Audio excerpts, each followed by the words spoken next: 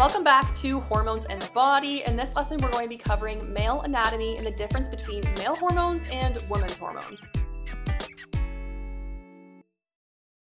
Just as we had a chart for the woman's reproductive system, we have one for men as well. So we have everything labeled again, and you can kind of glance at this and go through it.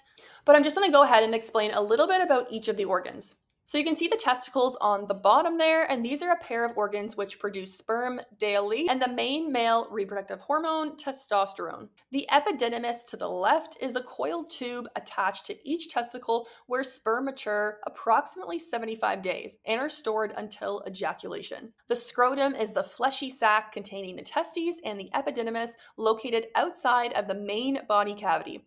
Muscles in the scrotum contract or relax, bringing the testes closer to the body when cold or further when warm, helping to regulate the temperature of the testes for optimal sperm production. The vas deferens is one of two ducts beginning at the epididymis, which transports mature sperm from the epididymis to the urethra. The vas deferens starts at the epididymis, loops around the bladder, and ascends through the seminal vesicles and prostate gland before emptying into the urethra.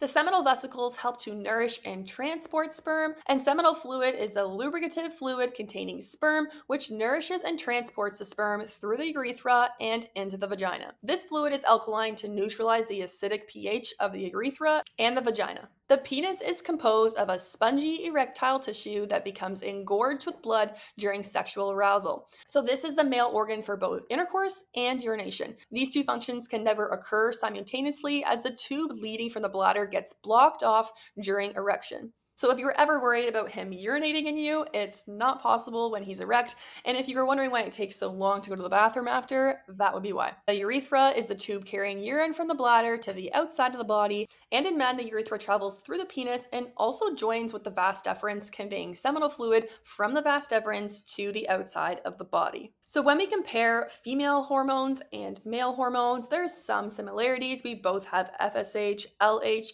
we both have testosterone, and men even have estrogen as well. It's just in different levels. So, for women, the brain signals ovaries to develop an egg and then produce the main female hormones, estrogen and progesterone. And for males, the brain signals the testes to produce sperm and the main male hormone, testosterone. So, a woman's estrogen and progesterone fluctuate on an average of a 29 day rhythm, and women have nine times more estrogen and two times more progesterone than men, and men have more stable levels of testosterone, which fluctuates on a 24 hour rhythm. Men have 20 times more testosterone than women. Women and men have different patterns of hormonal activity throughout their life. A woman experiences hormone fluctuations with the development and the release of an egg each cycle and is only fertile for a matter of days each cycle.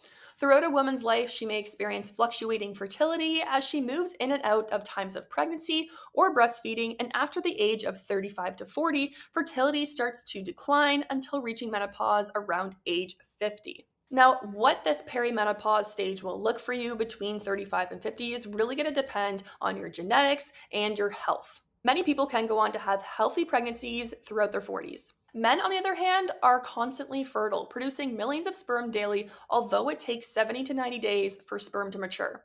His hormones fluctuate slightly on a daily basis and a monthly basis, but remain pretty consistent over the years. At approximately 50 years old, a man's fertility starts to slowly decline.